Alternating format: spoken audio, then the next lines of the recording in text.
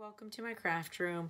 So today we're going to continue on with some fun, easy crafts, things that we can do with our Cricut. Just some simple projects we can use as gifts or we can keep for ourselves. So tonight we are going to make a sign. This is a laundry room sign. So I have this sign blank. I got this from Target in their dollar spot for $3. And we're going to be using some little wooden clothespins. I got these in Walmart for a dollar, I think it was a dollar 47. And I've got a makeup sponge and I've got scissors because we're gonna cut this makeup sponge. We only need a little piece of it. No sense to waste and we'll put the rest back. Now, I've got hot glue, shoe polish kit. Now this shoe polish kit I got from the Dollar Tree for a dollar.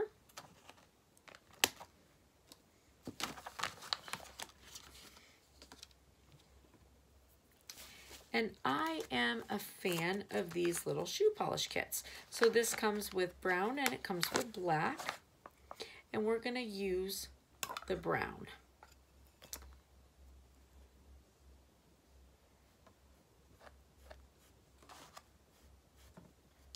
Mm, we may actually end up using both because the brown's a little bit lighter than.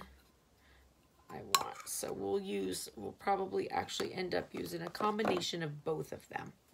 So we are actually going to use the shoe polish to stain our wood because it's a little bit, it is a little bit lighter than what I want. Okay, so we're just going to use our sponge and we're going to just stain our wood.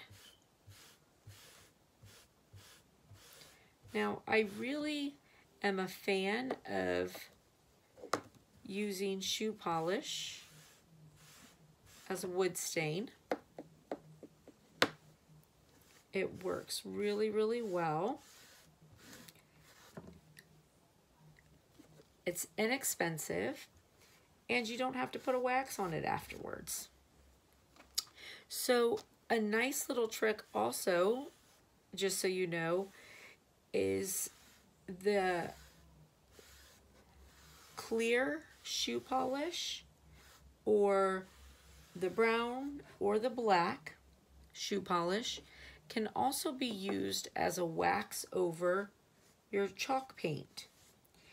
And now if you use the clear, then it will pretty much be the color that it's expected. However, just know if you use black or if you use brown, um, you will add color to it. That being said, if you're trying to do some antiquing on your wood, then that is, it's a really good option.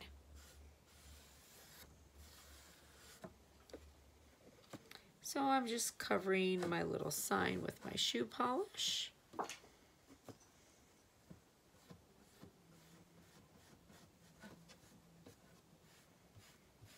Being careful not to get it in the in the white since this one is already painted white for me. I'm not going to have to go back and do that, which is nice. So what this sign is going to say, oh, by the way, um, if you like this video, please give it a big thumbs up. And if you haven't hit subscribe yet, please do so. I'd appreciate it. I'm trying to get this channel up and going, and I really want to be able to continue to bring videos to you. So, anyways.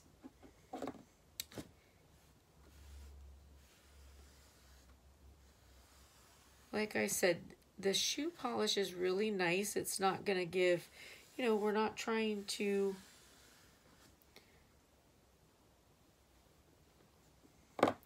color the wood completely. We're just trying to stain a little bit. And the other thing is this raw wood like this, it just makes it a little bit softer, which is also very nice.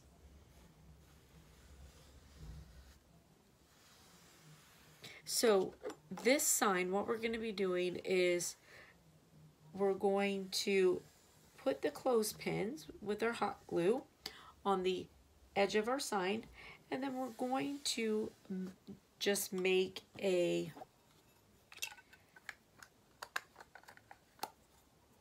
a decal out of vinyl that says missing socks looking for their soulmate.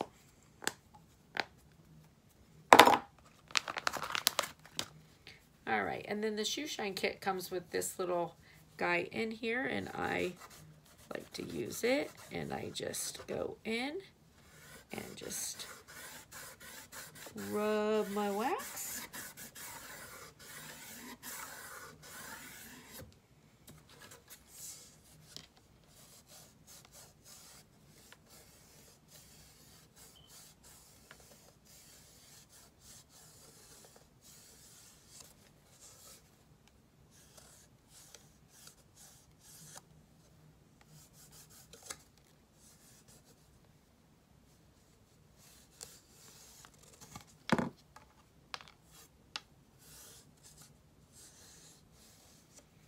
All right, so as you can see, it just gives it a nice finish. And it's already dry and usable. And the nice thing is the wood is soft now. So you're not having that splintering that you get from these pieces of raw wood.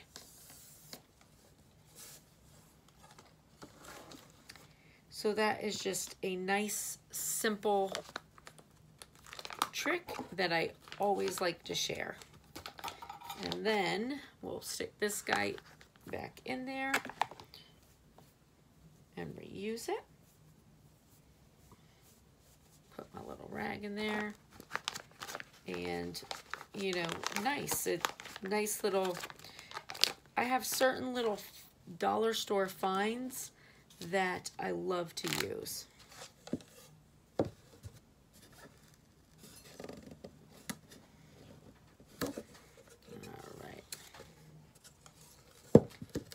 just going to cut off the tags.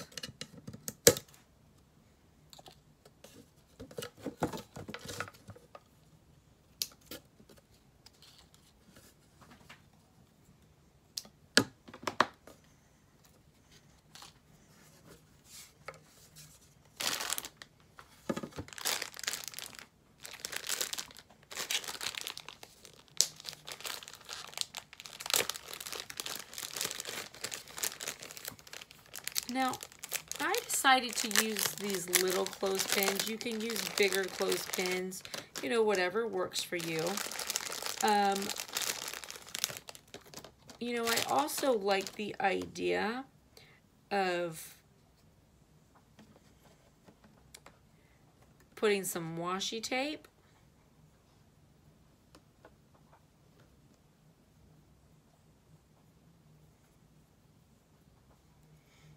them. Now, the one thing with big clothespins is that your washi tape pretty much just fits. You don't have to cut it. All right, so now we're just going to use our hot glue.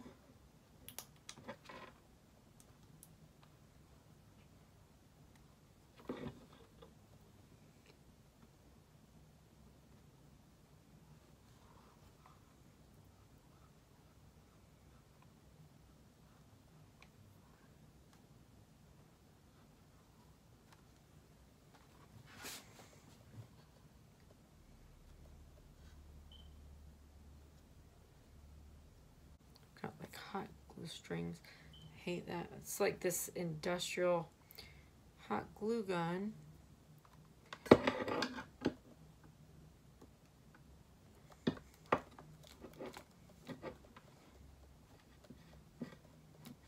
All right.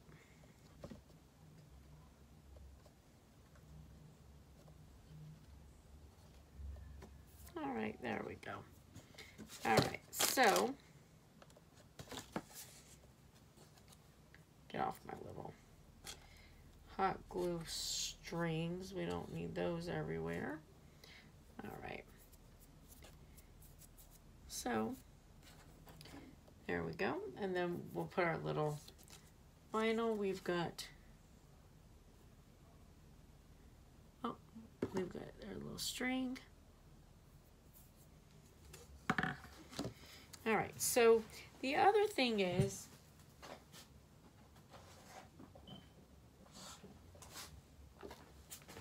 I mean, you can either can take some washi tape to it.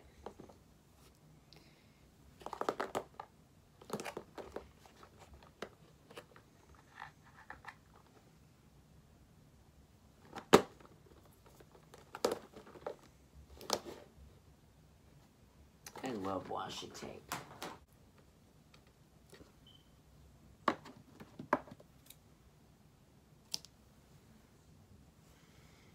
Hmm, I don't know, this is a little light.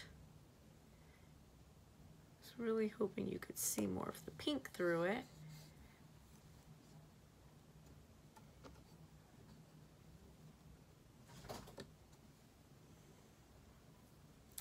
But I think it's fine. So what I'm doing is, now I could put these in my Cricut. So let me tell you a quick secret with, with washi tape. One of the things that I do is when I buy stickers, I always save the cardboard backing that stickers come on. And the reason why I save it is for washi tape. So I use that cardboard in two ways. Now, if I am trying to cut out a sticker with washi tape, like maybe I want to make, put take the washi tape and make a design with it, then I will put that washi tape along the slick side of that cardboard and I'll just line it up, overlap it, and then I'll put it in my Cricut and cut out whatever decal that I want. And then I can just lift it right off like a sticker and it'll be together and in that particular shape. Now, if I'm not trying to make a sticker, if I want to use washi tape and to just maybe make a shape, but I'm not going to like necessarily stick it as a sticker. I want it just to be a shape like a cardboard shape. Then I'll put it on the other side and do the same thing, except after I cut it out in the Cricut, then it's just a cardboard shape colored like the washi tape.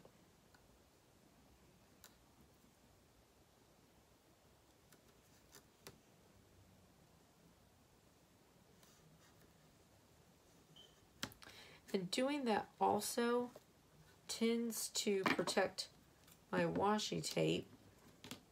I just pulled my thing off. Hold on, sorry. I pressed down on the end of it and made it pop off.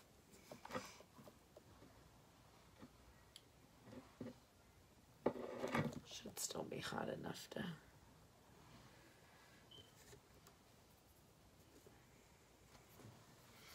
All right, so on the washi tape, I just put the ends over and I'll just take them and fold them rather than try and, you know, cut a piece. And like I was saying, I could put this in my Cricut and cut it, but it really doesn't make sense to do that because it would just actually take so much more time.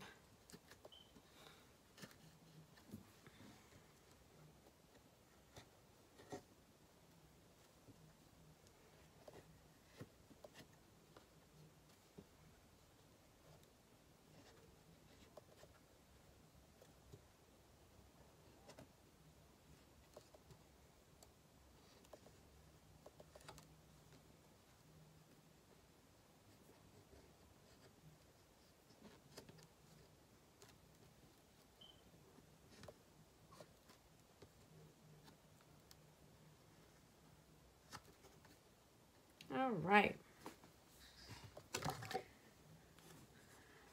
So there we go. You can see the color's very light on there. It's a very light pink of washi tape. But it looks good.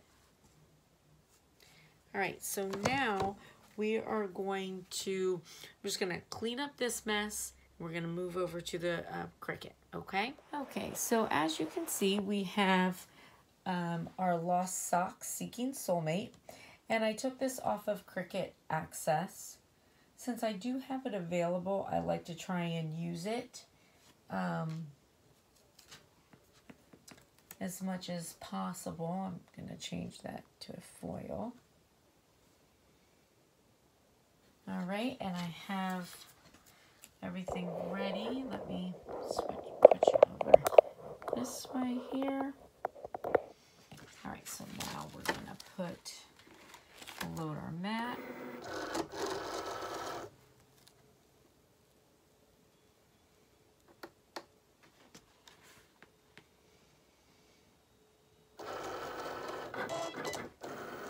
All right, and then while that's going, I do also want to show you, I did actually change the color of my washi tape because I wanted to do the gold, so I changed it to this blue with the gold lines down it.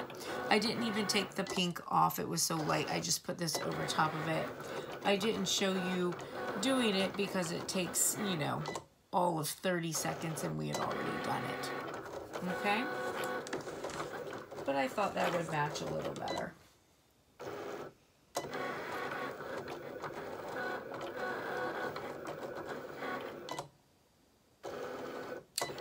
Honestly, I could have done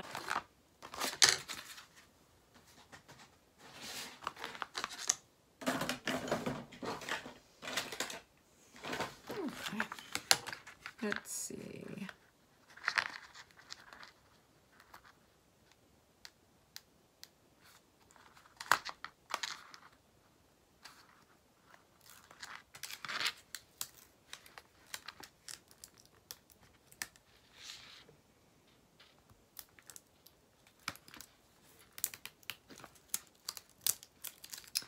ate pizza today.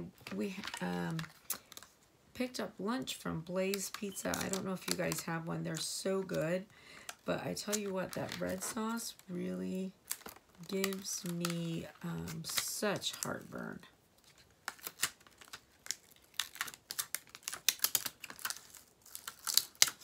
I think I may need to sharpen my blade.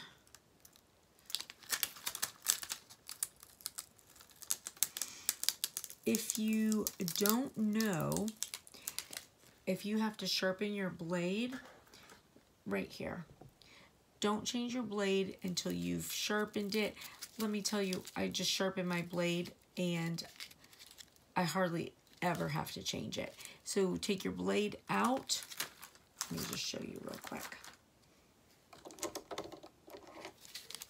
Push this in like this and you just in foil. Your blade is out, see? Just do it a whole bunch of times in and out of the foil. It will clean it.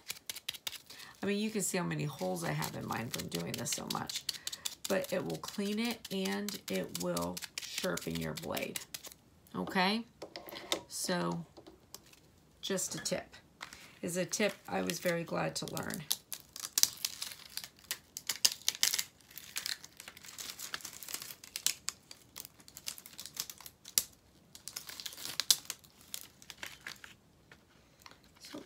Like it's only the L that's being difficult.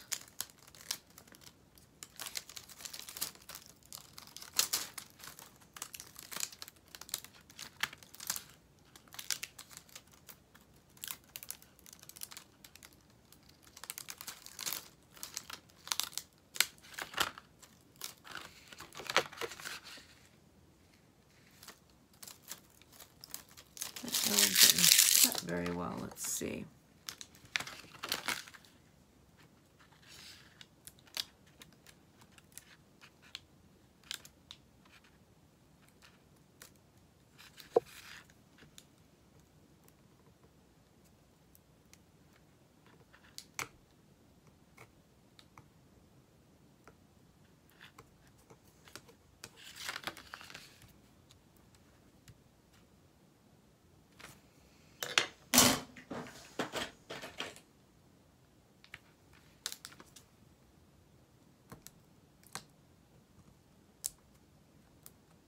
This guy here with the little hook on it is really good for ones that don't cut super well.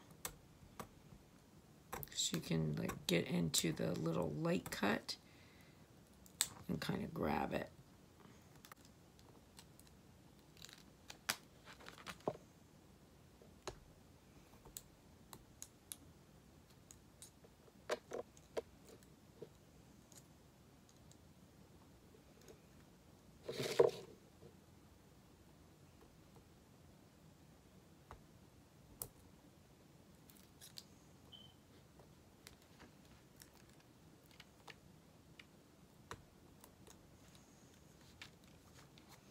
Sometimes when I edit, I skip through some of the weeding and stuff like that just because it makes the video so long and it's tedious, you, you know, and you guys know how to do it. All right, so we have our Lost Socks, Seeking Soulmate. Super cute. Now, I will tell you, honestly, sometimes with big letters like this. I don't myself necessarily put them on transfer tape. However, when I'm doing a video, most of the time I will. Occasionally I don't, but most of the time I will. Just because I know, you know, a lot of people use the transfer tape. That's a total preference, but when the letters are big, a lot of times I'll just pick them up and kind of set them where I want them to go.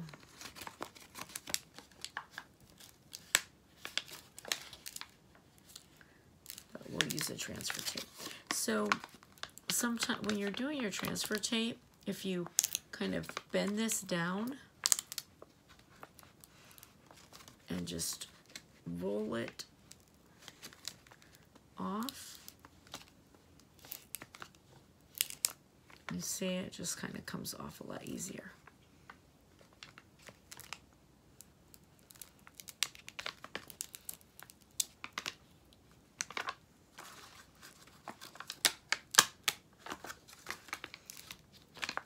The worst is glitter vinyl. I love glitter vinyl so much. It's so beautiful, but it's also my nemesis. Like, so sticky and so hard to get off.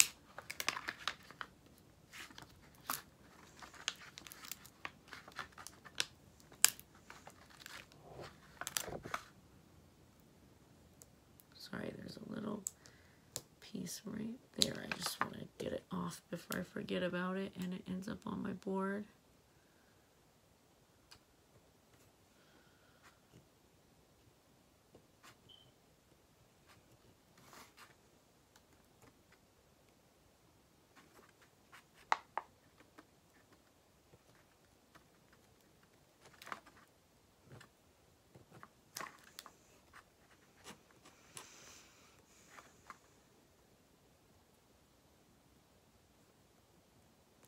My daughter was quite uncomfortable today.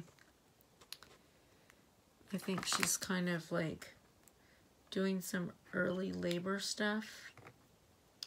I expect to have that grandbaby in the next couple days. I can't wait. I'm so excited. I feel good. I think they're going to be really good parents. They're both, course, you know my daughter. I think that she's the most wonderful thing in the world because she's mine and I love her. But I think they're both honestly just very good people. And, you know, she certainly picked a really good partner. Her husband is a really good guy. So I'm happy. And they, I'm happy for them. I'm happy for her. Because life is hard. So you need to at least do it with somebody that makes you happy. All right, so you know, you guys that know me know that I am not really a measurer. I am a kind of guesser. Ah, that's good. Put that down.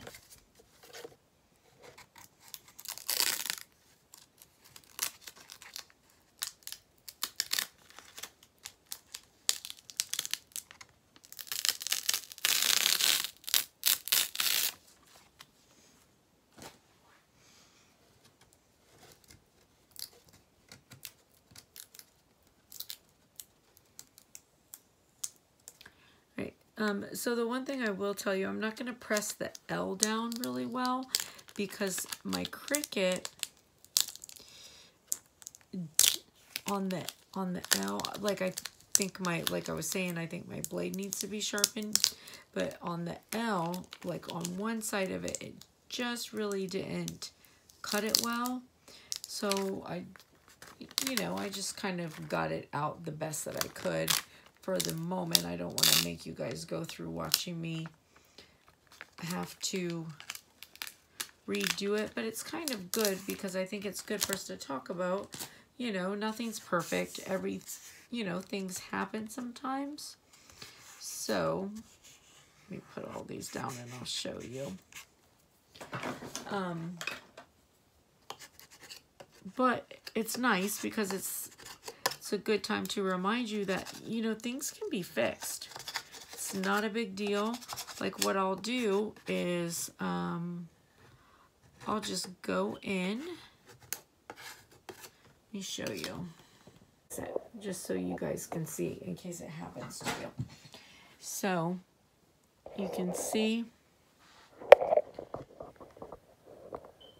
I've got my stuff up. So I'm going to go to detach.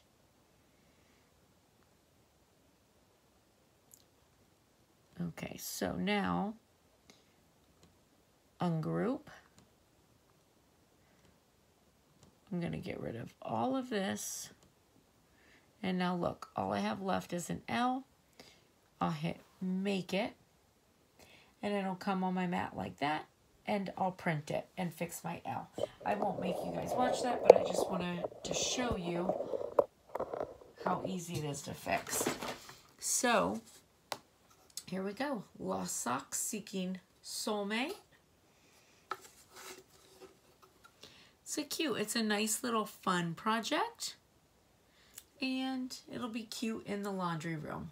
If you were given this to someone as a gift, like your sister, your friend, your neighbor, then I would even put like super fun, cute socks hung up to it because I've got like so many adorable socks. So you could like even hook some cute socks to it and then give it as a gift. However, for me, I'm fixing the L and it's going in my laundry room. All right, listen, you guys have a great rest of the night. If you like this video, please give it a big thumbs up. And if you haven't already, please hit the subscribe button. Thanks. Have a good night.